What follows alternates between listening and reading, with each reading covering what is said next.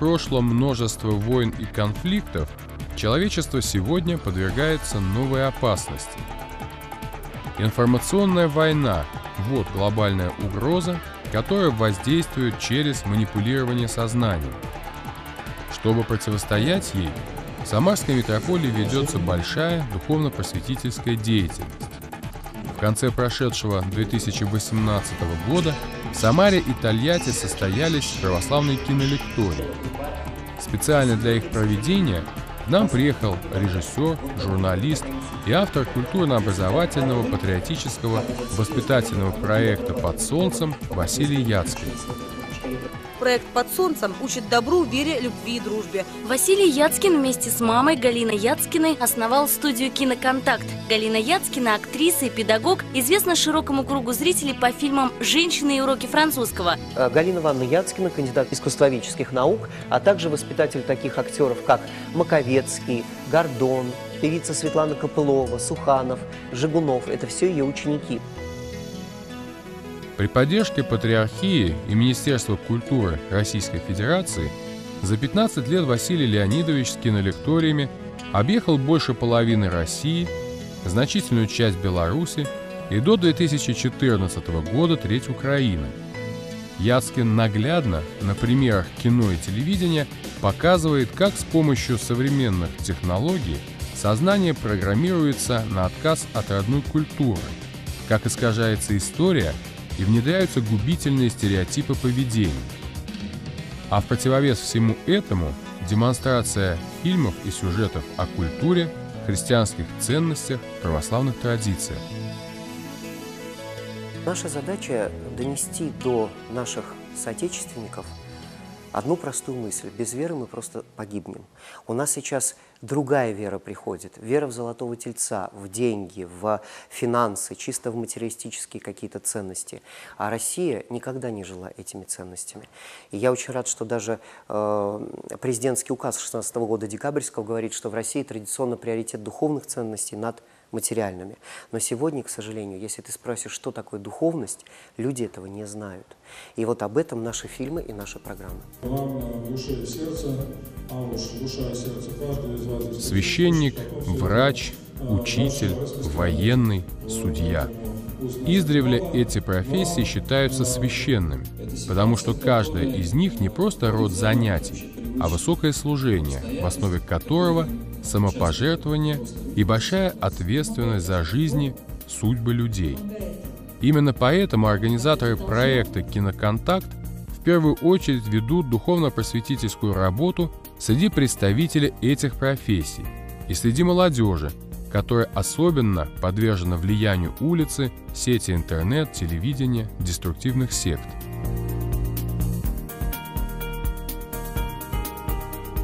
В Самаре одна из встреч Василия Яцкина состоялась в духовно-просветительском центре «Кириллица» во время областной православной конференции, на которую собрались священнослужители, педагоги, руководители и волонтеры центров помощи семье и, конечно, родители.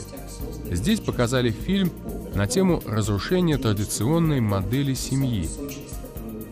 В картине представлена ретроспектива событий XX века – которые привели к отказу от христианских духовных ценностей в семье, и очень ярко продемонстрированы итоги этого. Во Франции за полвека существования ювенальной юстиции из семей было изъято более двух миллионов детей. Только за один год в Германии 70 тысяч. В Прибалтике за последние годы 50 тысяч. Не отстает Швеция, Норвегия и прочие западные страны.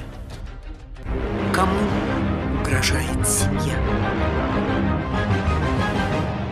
Конечно, это разрушение государства. Развратом, ювенальной юстицией, э, наркотиками и многими другими технологиями э, такого тихого сокращения населения.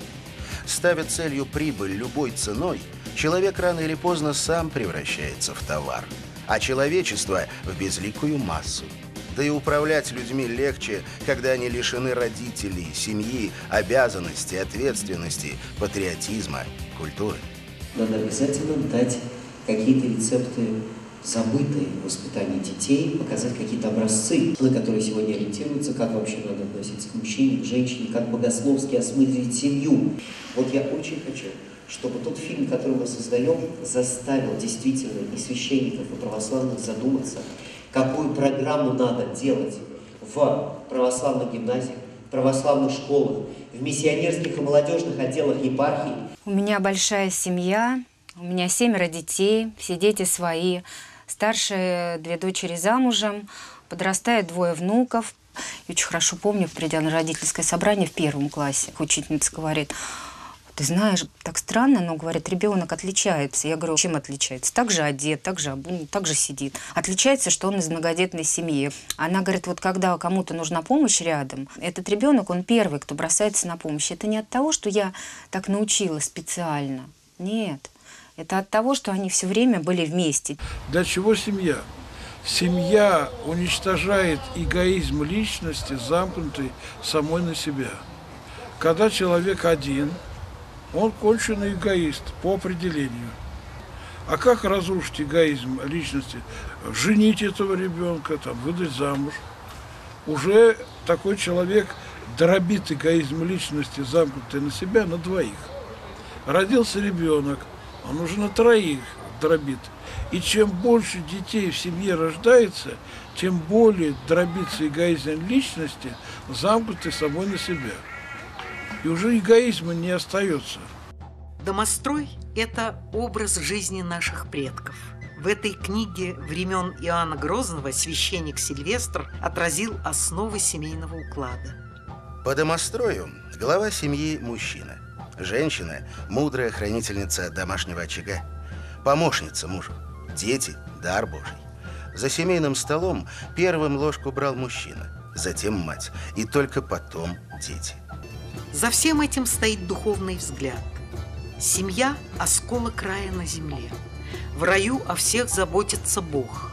Значит, в семье отцу дано заботиться о всех, нести главную ответственность. Семья в идеале – это школа любви. Любить учится каждый через послушание. Работа над фильмом «Кому угрожает семья» еще продолжается. В этом и есть задумка автора. После показов и обсуждений, проведенных в разных уголках России, дополнить его мнениями, впечатлениями, предложениями самих зрителей – у Василия Яцкина всегда очень плотный график встреч.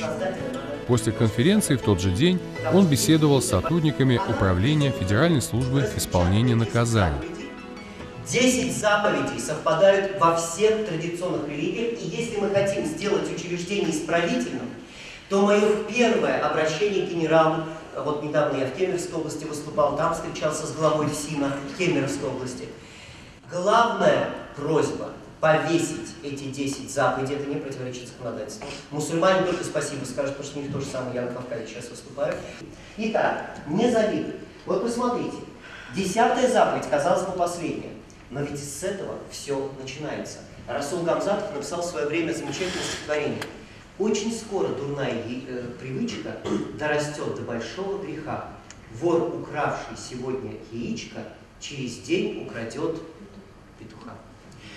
И сколько осужденные мне признавались, что они начали именно с зависти, а закончили потом и убийством, и насилием. Говорили о силе покаяния. В качестве примера отрывок из фильма протерея Сергия Баранова «Литургия». В камере пожизненных я стал думать о своей жизни, о грехах, о Боге. Я здесь остался снова один, один на один со своей бедой. Мне не с кем было поделиться и не с кем поговорить о том, что болело внутри. И я стал говорить с ним. Каждое утро я встаю с чувством радости и вечером засыпаю, переживая счастье. Прочитав утренние молитвы и Евангелия, я целый день творю Иисусову молитву. Это большое утешение, и даже более того, это настоящее счастье. Я не имею наслаждения мира, но я очень близок к Богу. Простите меня за дерзкие слова – его имя не сходит с моих уст, мысли заняты им, и я очень чувствую его любовь даже ко мне, разбойнику. Я священник, стоящий уже 20 лет у престола, не могу, к сожалению, не могу сказать, что переживаю Бога так же близко, как этот разбойник-убийца. Поэтому снова и снова я еду к Нему, чтобы учиться любить Бога. Однако общение с Богом в молитве, в причастии необходимо и для самих сотрудников, работающих в системе исполнения наказаний. Василий Леонидович старался донести до аудитории, что вообще важно начинать с себя, с очищения собственной души и сознания, с анализа того, что мы и наши близкие потребляем с экранов телевизоров и компьютеров. Дорогие мои, посмотрите внимательно эти заповеди, вы увидите, что против каждой идет сегодня война. И нам вначале в семьях надо это восстановить, да? А потом уже и в работе тоже желание с детьми вначале все решить, с женой.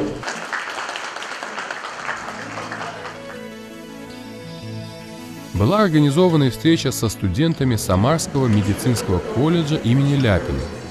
Вы, молодежь, находитесь в более опасном информационном окружении, чем находились мы в Советском Союзе. Вот мне 47 лет, я в детстве и в юности не имел окружения такого количества отравленных песен, мультиков, э, бомб в социальных сетях типа «Синих китов». Да? Мы просто жили как заповедники, как непуганные олени по сравнению с вами. Вам сейчас уже очень тяжело. И даже против медиков направлен один известнейший американский сериал, с которого потом сделали кальку. Но некоторые из вас, посмотрев этот сериал, даже не поняли, что вам уже обработали мозг.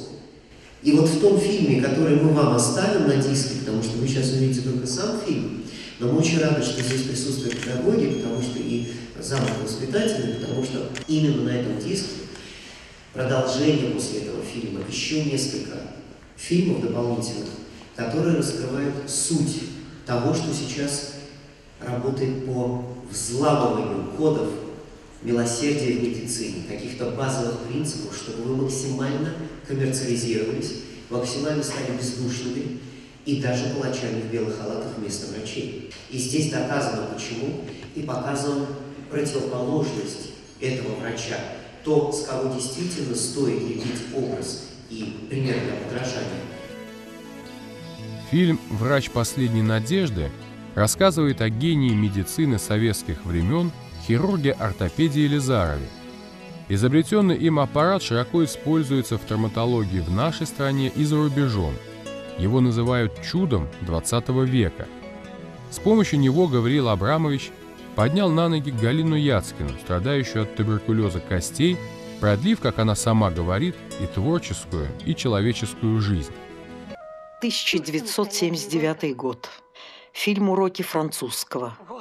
Миллионы людей плакали у экранов. Загорелось тебе. Приспичило ехать.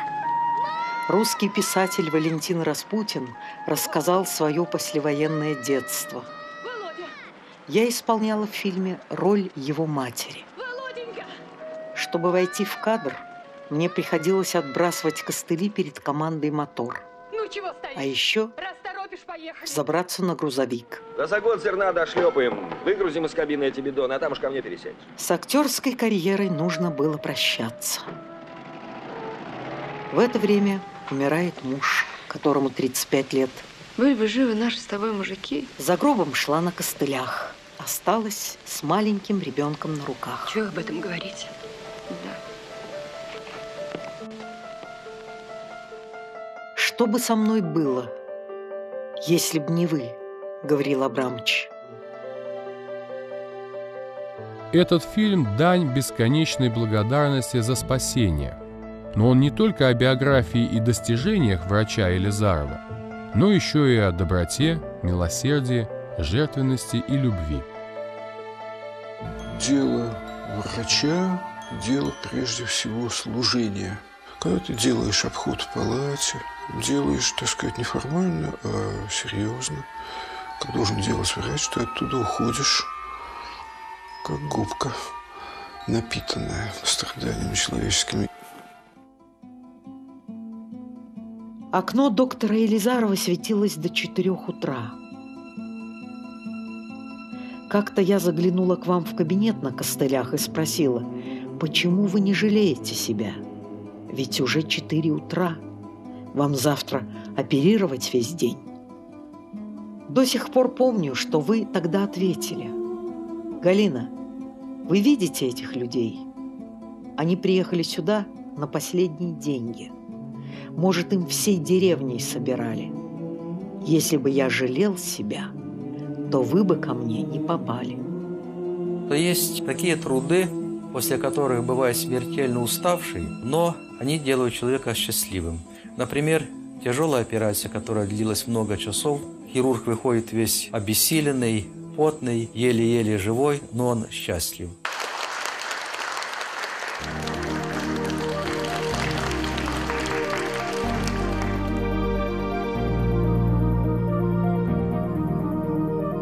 И этот же фильм показали студентам Самарского медицинского университета. После операции я пригласила Гавриила Абрамовича с Валерой Брумелем к себе домой в гости, в мою двухкомнатную квартиру на Мосфильмовскую улицу. Он спрашивает, а какой этаж? Я говорю, четырнадцатый. На лице у него мелькнула озорная улыбка. «Валера, я тебе ногу сделал?» «А тебе, Галина, ногу сделал?» Так, я вниз на лифте, а вы по лестнице, на перегонки.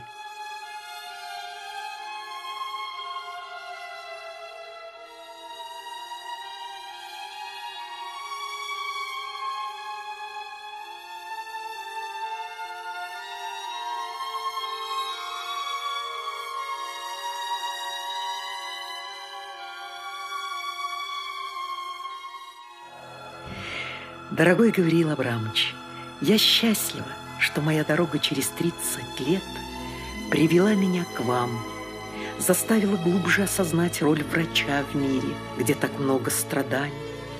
И без веры их не преодолеть. На эмблеме вашего центра аппарат. Из него растет к солнышку зеленое, вечно молодое деревце. Говорят, оно приснилось вам во сне – Вся наша жизнь – это деревце, которое тянется к солнцу, к Богу, к врачу последней надежды. Профессия врача освящена и временем, и священным писанием. И возрождение духовности в профессии врача сейчас необходимо, как никогда. К сожалению, сейчас э, про врачей говорят все больше о плохом, и хочется слышать э, не только это, но и хочется слышать правду, что есть на самом деле искренние, верующие, добрые, милосердные врачи, такие, как показаны в сегодняшнем фильме. Они есть, они рядом с нами, они помогают, протягивают руки помощи, и то добро, которое они несут, является поистине христианским добром. И оно в себе олицетворяет образ Христа, того милосердного пастыря, который остановился для того, чтобы помазать раны брошенного, избитого разбойниками человека. Вот сегодняшнее человечество, сегодняшние люди – это как раз такие вот избитые, израненные – и они как никогда нуждаются в этой помощи. И я верю, что сегодняшний фильм, сегодняшний проект будет той первой ступенькой к этому духовному врачеванию сначала самих врачей, а через врачей уже и всех нас, людей. Во время просмотра многие из студентов плакали, а после фильма педагоги подходили за дополнительными материалами для дальнейшей просветительской работы, задавали вопросы. И для самого Василия Яцкина, и для организаторов кинолектория в Самаре это было очень отрадно и ценно. Значит, тронуты сердца. Значит, все, что было сделано и делается, не зря.